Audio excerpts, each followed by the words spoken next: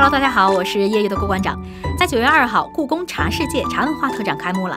故宫为了这次展览，真是掏出了不少好宝贝哈，还向外借了不少好东西。整个展览呢分为四个单元，粗略逛下来都要三个小时。那么，如何从五百多件展品中挑出有意思的展品重点看呢？别着急，馆长为大家理了一个清单。咱们这一期先看器物篇。首先，我们看的是茶出中国这个展厅。进门呢，先别着急往里走哈，就是在正对面的这个柜子里，就是划重点的展品了。我们先来看这几根茶树根，这是距今约六千年前的茶树根，是已知的最早的人工种植的茶树根。旁边的几件展品上面附着的这个茶叶片片啊，向人们展示着从新石器时代到宋代人们种茶和饮茶的历史。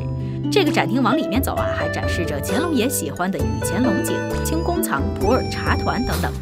看完了茶呢，咱们是不是要看一看茶具呀？我个人其实偏爱宋代的茶具。这个展厅呢有不少关于宋代的茶具，宋人斗茶的画面，咱们在电视剧里面都看到过，对吧？很讲究，他们用的那些器物呢，在展厅里一套一套的都有展出。如果你是对茶具感兴趣，那么这个展览您肯定要来。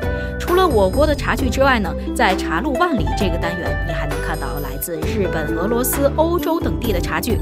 展厅里还原了一套日本茶道所用的器物，还有从出光美术馆借来的茶香，还有英国来的银质地的茶具。当然了，还有这个特别有意思哈，这个呢是法国产的，但是大家仔细看，它上面写的是中文的“寿”字。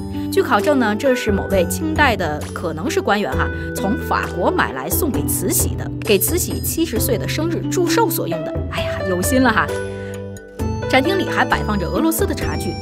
这个老远就能看出来哈，论茶具的个头就是俄罗斯那味儿了哈。这个展览展出的茶具宝贝远远不止我刚刚说的这些哈。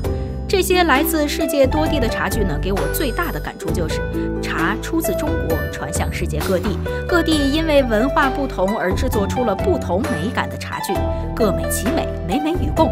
这也深刻阐释了中华文明中和的特质。当然，如果你没看够啊，也可以来看一看乾隆爷收藏的这个粉红色的奶茶壶，也可以对比一下古人喝奶茶和我们现代所喝的那个奶茶有何不同。